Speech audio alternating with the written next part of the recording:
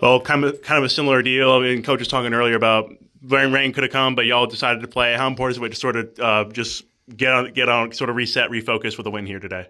I mean, we've, we've struggled in midweeks this whole year. Our record hasn't been the best in these midweeks, so I think getting back on the win track in these Tuesday games has been is big for us because you know we two big series left in the ACC. I think we could build momentum off this win to go to UVA this weekend. I was gonna say, what is a win like this where everything's clicking, pitching, hitting, kind of reset and, and get ready for you know those last two weekends? Yeah, it's. I mean, we, we struggled last week, and we should. We, I think we could have won that game versus UNCW. Same with ECU, but the end of the day, we're just you know trying to bounce back. We've had a lot of injuries as a team, so coming in tonight, we felt confident we could win. We went out there, performed really well, and, and ended up with the win, which was good.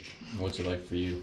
Pitching with the, the lead that kept growing basically every time you went back out there. I, I mean, I, I, felt this. I feel the same basically every time. Whether we're losing or winning, I try to go out there, just throw it in the zone, and I trust the defense behind me to make the plays that they did, and they did a very good job tonight. Just happy about that.